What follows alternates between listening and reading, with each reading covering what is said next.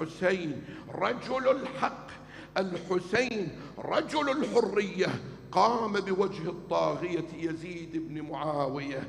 مثلي وعلى الإسلام السلام إذ ابتليت الأمة براع كيزيد. دققوا يا عرب كلام الإمام إمام الكلام. الإمام لم يقل وعلى الإسلام السلام إذ ابتليت الأمة بيزيد. لا إذ ابتليت الأمة براع. ملك ملك. رئيس رئيس وزراء كيزيد إذا صار الراعي مثل يزيد اقرأوا على الإسلام الفاتحة من هذاك اليوم شيعة أمير المؤمنين تحت وطأة الظلم.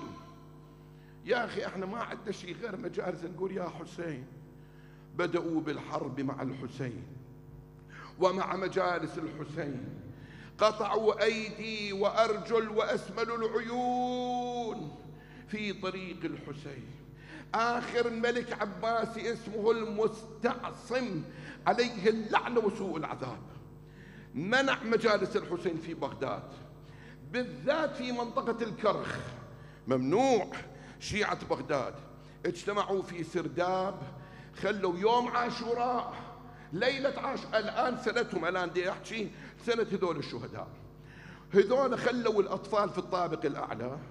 هم قعدوا بالسرداب ينوحون ويبكون على الحسين. بينهم ستار رجال من طرف نساء من طرف. مجلس قوامه ألف رجل وامرأة. الجواسيس فوق كان أطفال ليلة عاشوراء. أطفال يضربون على الدنابق ويرقصون ويضحكون حتى يتبين للرأي العام أنه عندهم مجلس فرح ليلة عاشوراء. ولكن تحت كان يبكون على الحسين. وصل الخبر إلى المستعصم العباسي.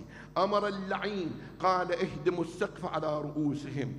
اهدموا السقف على رؤوسهم.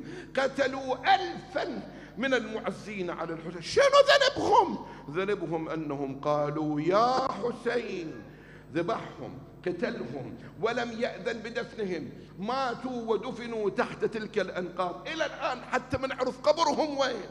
هذا تاريخ.